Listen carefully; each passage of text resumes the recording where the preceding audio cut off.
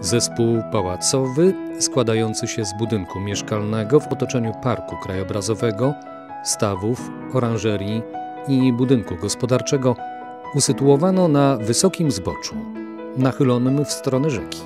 Przypałacowy park krajobrazowy o powierzchni 6,5 hektara pochodzi w swym ostatnim kształcie z połowy XIX wieku. Szczególne walory krajobrazowe wynikają zarówno z usytuowania parku w głębokim zakolu rzeki, jak również z umiejscowienia w nim czterech stawów połączonych kaskadowo.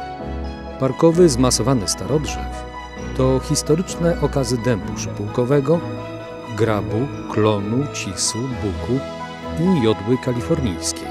Obecny stan parku jest efektem dziesięcioletniej rewaloryzacji.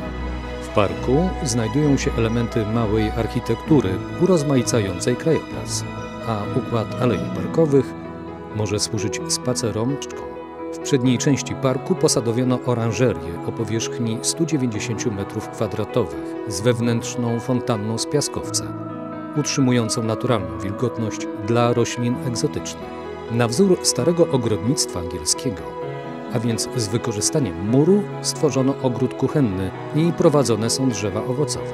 Największy staw jest połączony z rzeką i zasilany wodami gruntowymi, dzięki czemu utrzymywana jest wysoka czystość wody.